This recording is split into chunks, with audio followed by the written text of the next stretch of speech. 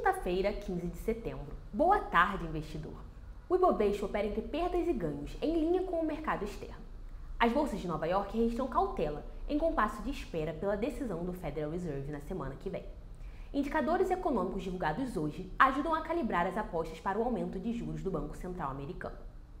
As vendas no varejo dos Estados Unidos subiram inesperadamente em agosto ante o mês anterior, enquanto o índice de atividade industrial Empire State subiu além do esperado em setembro. O cenário internacional ofusca os números do IBCBR, Índice de Atividade Econômica do Banco Central, considerado prévia do PIB. Divulgado hoje de manhã, o indicador mostrou alta de 1,17% da economia brasileira em julho ante o mês anterior. A projeção era de 0,30% de alta mensal. As ações do setor de varejo chegaram a ocupar o posto de maiores altas do Bovespa durante a manhã, mas não sustentaram desempenho diante do impulso na curva de juros. O setor de tecnologia também recua em bloco por conta dos juros, à exceção da Positivo. A companhia é uma das maiores altas do Bovespa.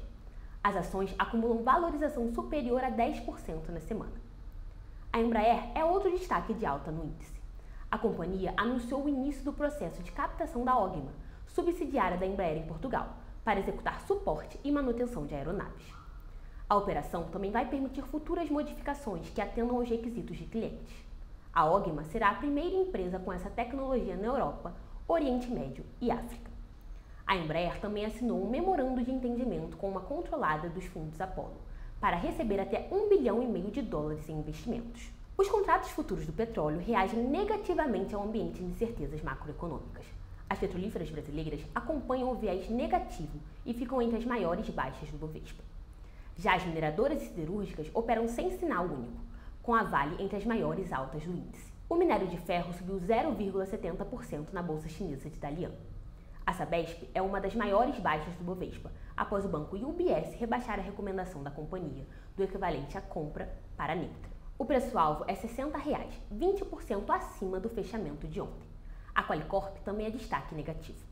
O Credit Suisse manteve recomendação neutra para os papéis da companhia, mas cortou o preço-alvo pela metade, de 18 para 9 reais. Para assistir ao Minuto Trade News assim que for publicado e acompanhar outros conteúdos sobre investimentos, se inscreva no canal da BRA no YouTube e clique no sininho para ativar as notificações.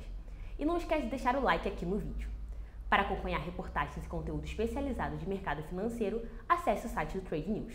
Você também pode acessar o acompanhamento do mercado em tempo real no site da BRA e BS. Os links estão aqui na descrição. Bons negócios e até amanhã!